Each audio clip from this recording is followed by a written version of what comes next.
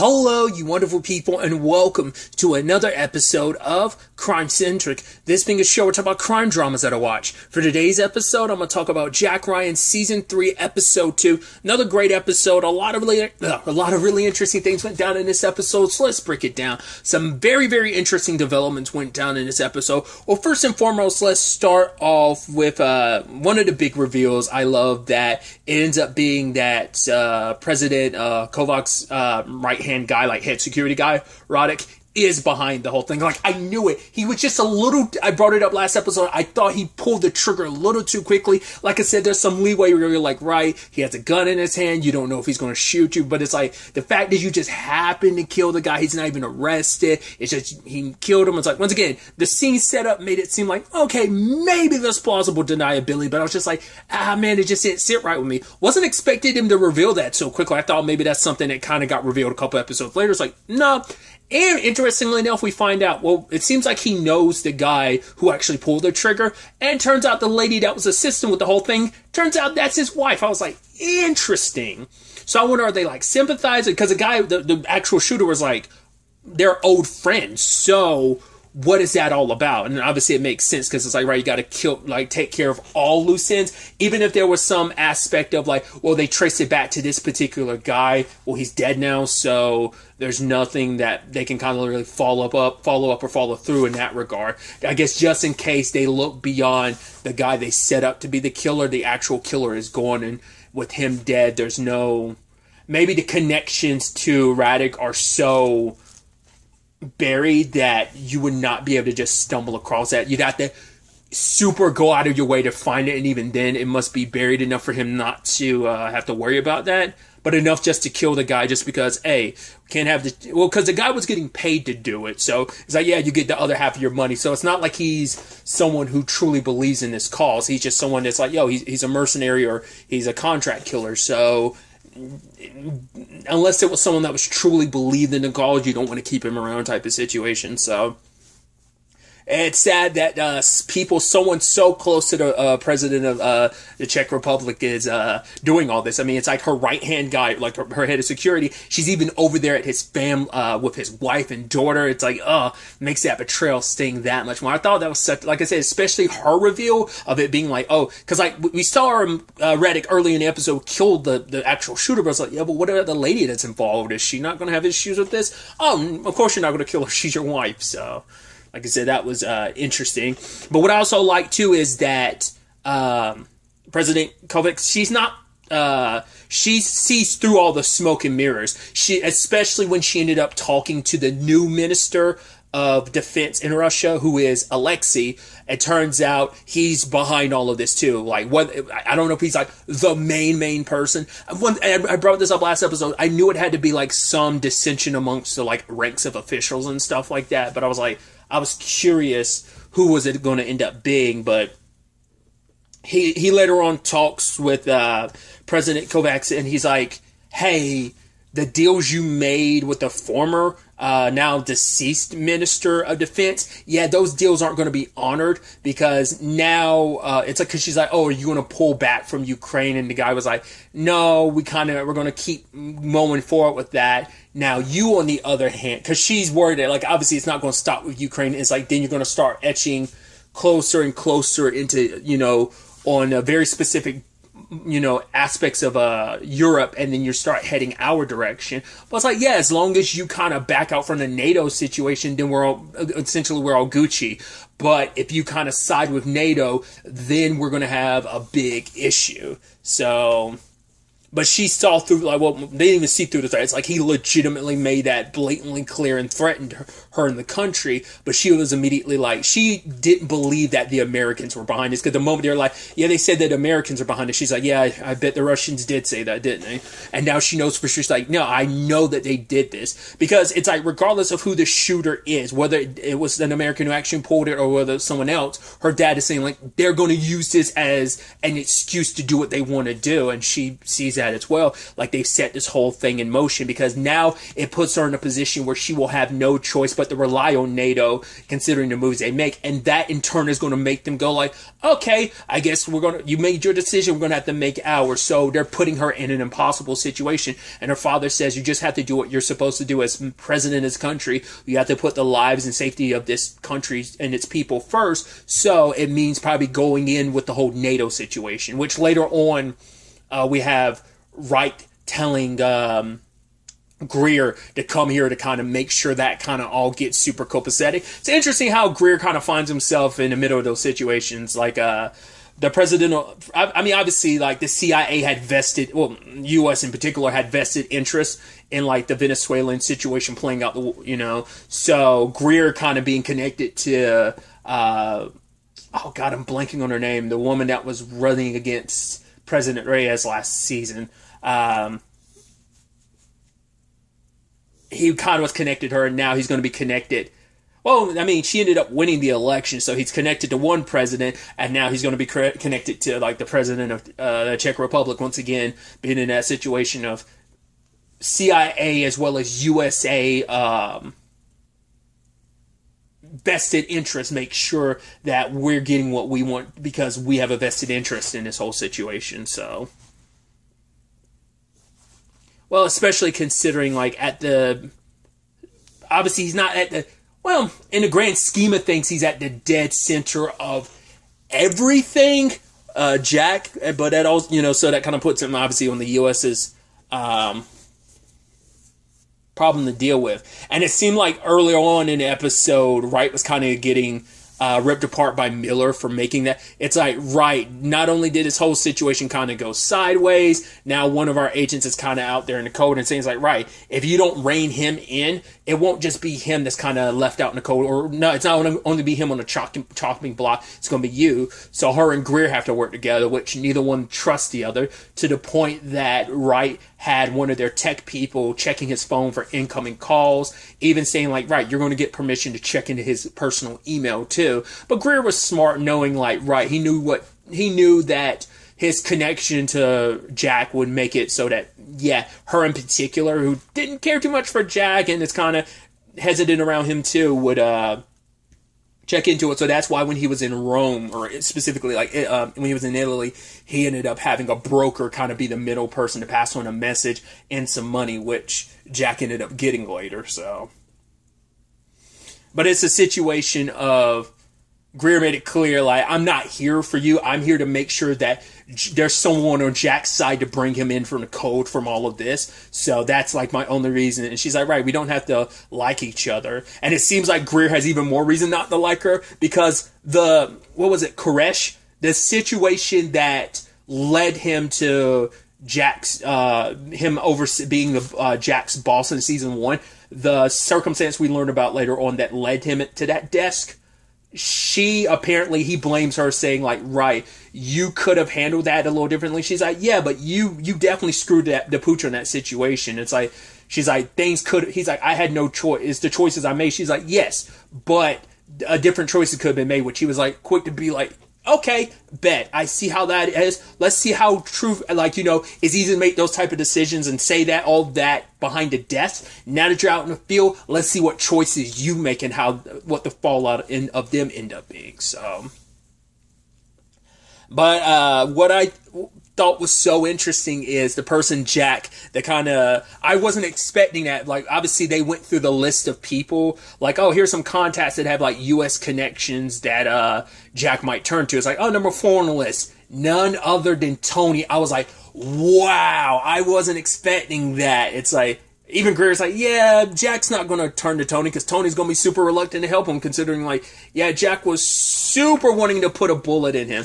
I thought that was so interesting, bringing back, like, a character like Tony was in, like, what, maybe one? He was in definitely at least one, maybe two episodes, but it might have only been one. I can't remember now. It's been a, because uh, I did rewatch season one, but it's been a little while now.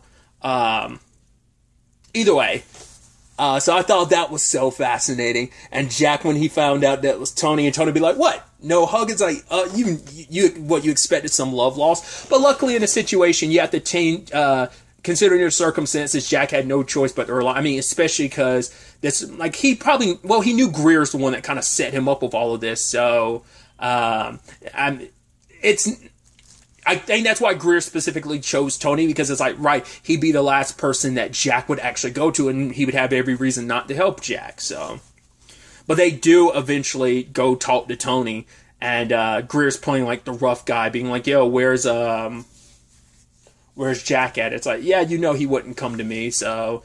And even Jack was surprised to know that Greer was here, but it's because Greer needed to keep an eye on Wright and make sure she try try to make sure she didn't get too close. Uh, especially complicate circumstances because Constantine, the guy who killed Yuri, the one of the people that's after Jack after last episode, I thought he was like with the Greek police or whatever. It's like no, he's from the he's he's Russian. Uh, he's with uh, he's from the uh, Russian embassy, but apparently Greer's had run-ins with him. It's like yeah, the guy thinks he's smarter than he actually is, but he is super dangerous. So we do have to be a little weary and careful around him. So because he followed them to Tony's place and he made sure to roll deep with a whole bunch of police because I want to say Tony I think it was Tony that said like, yeah, Constantine is a scary guy. Plus, he kind of runs things here, even though he's from the embassy. Like, even the Greek police apparently shit themselves around him, so he gets to have a lot of sway. Hence why he was able to roll deep with a whole entire team. Yes, there's been like a red notice put on um, Jack, but still, because uh, apparently that wasn't well. The Greek Constantine said we did that, but it, kind of referencing like the Russians, but I think it's more specifically um, like the Greek police aren't going to like at least that chief in particular isn't going to like say much to uh, Constantine because he holds all the power in this situation. Because Greer tried to be like, "Yo, like the guy that was killed, he was a Russian nuclear scientist," uh, and even turned to him and be like, "Oh, did you pull the trigger? It trigger? In fact, he did."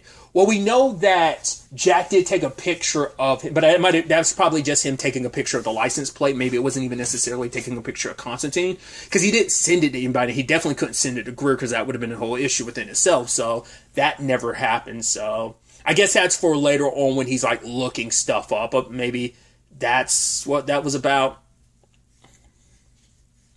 Luckily, they didn't find uh, Jack uh, at Tony's place. But I also think it's interesting too that uh, it's like yeah, Jack had to go as far as thanking Tony. He's like, oh, you're a brother. It's like I know that's to make you feel all kinds of weird, but once again, uh, being kind of burned, uh, kind of puts you in a situation where you kind of have to.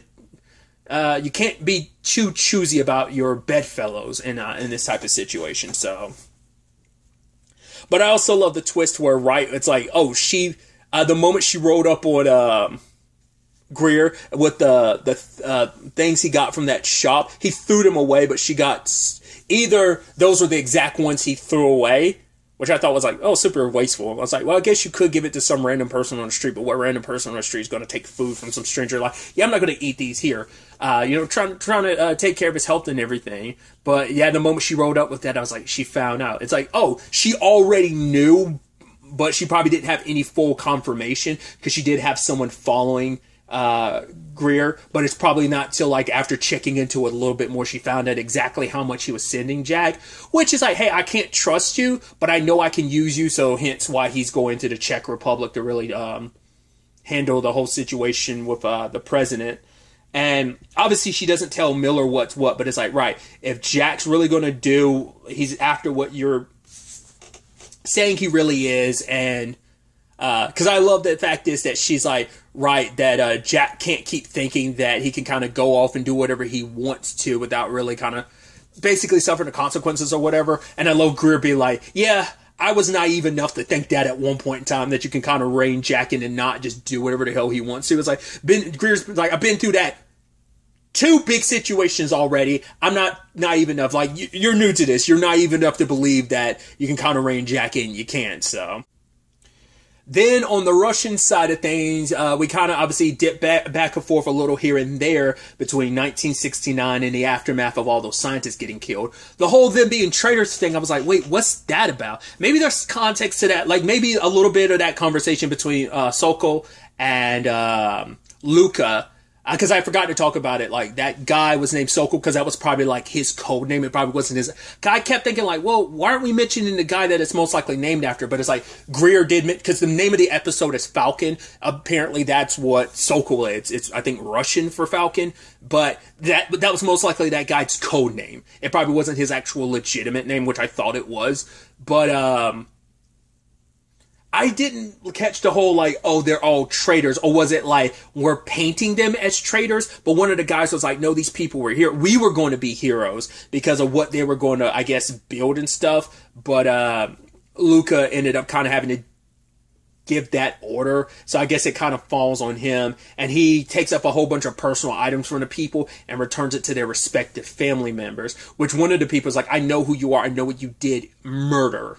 So I guess word got around about what he did, that it was his like order or whatever. But we also get the reveal that the guy that I was like, that's definitely got to be Luca, because like I said, I didn't want to look into it. I think even in an IMDb like X-ray thing, it doesn't say his name. At least at the time, it didn't. I think it probably said his last name because we only knew Luca's first name, I believe. And so, but it's like, yeah, he's Luca. I also didn't know that that actor um, who plays the older Luca. I was like, why does he look so familiar? Oh god, I'm blanking on his character's name, but he was in his, uh, the first season of his Dark Materials. He was one of the Gyptians. Uh, Seraphina's ex. They had a child together. That guy. Uh, and that's what threw me because like obviously in that he has like a, a pretty big beard. He's clean shaven in this, so that's why I didn't recognize him at all. But I kept being like, he does seem familiar, and I was like, oh, that's kind of interesting. Um, but yeah, he also saw through Alexi because Alexi's like, oh yeah, the Americans did it, but then like Luca's talking to him alone, it's like, okay, you got that job, but if you want to keep it, you might want to be more careful about it. He's like, I know, like the fact is, I know that trail that connects to the shooter. Uh, it's like, yeah, I know that was fabricated, that it wasn't the Americans that did. It. I know that was us. So, and so later on, he wants to talk to Luca and it's like, right, I want to earn your respect. He's like, right, you want me to blindly give my loyalty to you because he's like, right, I didn't like the previous minister of defense. He was a piece of shit, but I don't like the way that was handled. He's like, I understand. Um, he's like, but uh, you are someone that's respected. And once again, this, he's, it's all about doing what's right for the country. And that's why Luca kind of did what he did in the past because it was like a, not maybe not even like you 100% believed in that, but it was because hey, this is what's necessary for the the future of this country. And I love the reveal later on when we find out Luca's the inside person, the one that uh, because I forgot to talk about it, but uh, last episode Yuri said that someone told him that the Americans were going to come, and and he would not give up the name of the person who set this all in motion. And he's like, I can't. I thought it was just for like, oh, like you know, once again, I I need this leverage, but it's because of who Luca is. It's like we can't let anyone know that it was Luca because he's seen viewed in a certain light, and if the truth came to light, it'd be pretty massive. So he's pretty high up there where you want to you need to protect his anonymity. But that was in because Jack is going to try and drag him out into the light uh, to get revealed because he left messages for him, but it's like, oh, he can't really get back to you because probably too many eyes on him, especially because Alexi wants to like keep him pretty close. So, but I can only assume that's because tying back to all that stuff in 1969, I think he has a lot of regrets about how that was handled. And regardless of the reasoning behind it and all that, I think he is someone that uh, doesn't want to make that mistake again and does believe that who, these people who believe what they're doing is for the greater good of the country. Like he doesn't buy into that, even though they think he does. Like I think he just has a lot of regrets about how things were handled back then, how he handled things, and he doesn't. He wanted to try and um, stop all this from happening. He wanted to probably save as many lives as possible because he doesn't believe in this, but he probably has to pretend like he believes in it just for that um, whole situation. So, but uh, at the end of the episode, we have Jack meeting up with Mike, And obviously, Mike is giving him kind of the conversation about, like, right, I get it. You're kind of going on your own lone wolf. You're kind of running from the CIA. He's like, I'm not running from the CIA. I was like, yeah, then why are they chasing you? He's like, I get it. You, you know, they kind of screwed you over, but that's the politics of it. You can do a lot more good from the inside than the out. But considering everything going on, Jack it's just kind of like right they eh, he's a little pissed because it's like he has every right to be peeved because it's like yeah you kind of burned me on that. And i know i'm right and jack can be very very stubborn when he not even just believes he's right knows he's right. So gotta drag uh unbeknownst to him luca into the light. So to try and find out how much luca really knows about all of this and how he can stop this before things continue to escalate which they will so it is definitely going to be really, really interesting to see where the next episode takes us going forward with all of this. But uh, really, that's all I wanted to talk about. To the next time we meet, be happy, be safe, live life to the fullest, and enjoy it. Good day and goodbye.